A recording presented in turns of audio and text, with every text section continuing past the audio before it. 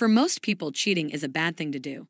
No matter what, lying to your partner and breaching their trust by getting involved with their friends behind their back is terrible. Of course, while most of us would prefer not to be in this romantic situation in real life, movies are a different story.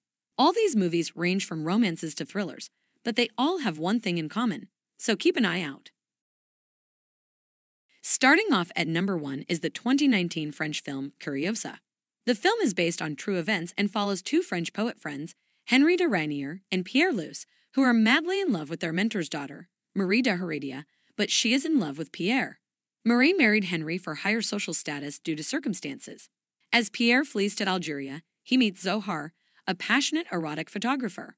As he returns to Paris and finds Marie, she professes her love to him. They begin their love affair against the backdrop of Paris's erotic photography. Moving along to number two, we have 2016's TV movie Laia.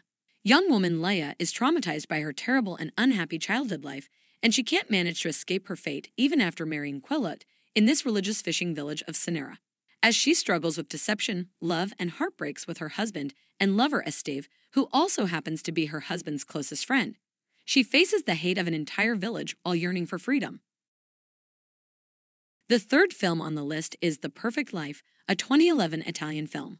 Luca, a perfect Italian doctor, decided to leave the city and start a new life in a humanitarian hospital in Kenya. That's when he ran into his old successful surgeon friend Mario and his wife Ginevra, who also happens to be his ex girlfriend.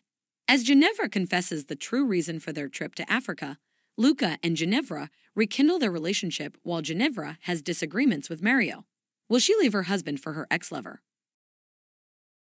Coming in at number 4 is 2004's romance drama, We Don't Live Here Anymore. Jack and Hank are best friends and co workers with some indiscretions between them, but their families are closely tied. When Jack's marriage to Terry becomes problematic, he steps outside of his marriage and connected with Hank's wife, Edith. As each spouse learns of their partner's affair, they realize that they are in love with each other's spouse and are trying to save both of their marriages and collapse friendships. Finally, Jennifer Aniston's 2002 film, The Good Girl, comes in at number 5. Jennifer Aniston plays Justine Last, a 30 year old woman trapped in a boring marriage to Phil and a dead end job as a discount shop clerk in a little community in Southern America. Her life is turned upside down when she meets her young, passionate coworker Holden and begins a secret love affair. When her husband's closest friend learns this, issues arise, and Justine is forced to make a life altering decision. Well, that's it for this video. Thanks for your time.